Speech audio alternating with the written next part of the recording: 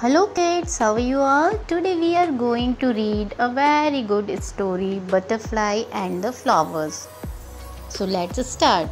There was a big garden full of trees and flowers. In the garden there were many different flowers but they had no color.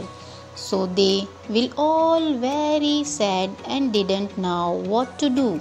One day a beautiful butterfly came to the garden.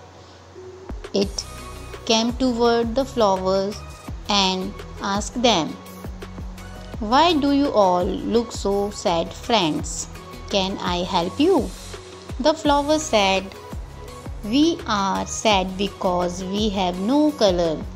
Will you be able to help us? The butterfly said, I have a friend called Rainbow.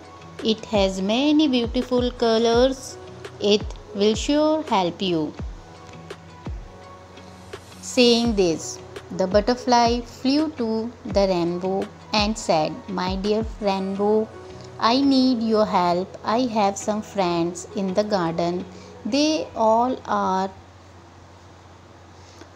they are all flowers who have no colors, so they are always sad.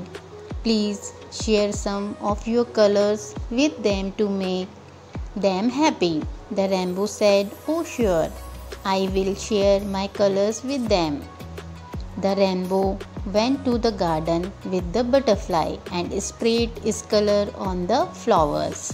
Suddenly, all the flowers in the garden looked bright and beautiful. They were very happy to get the colors and thanked the butterfly and the rainbow.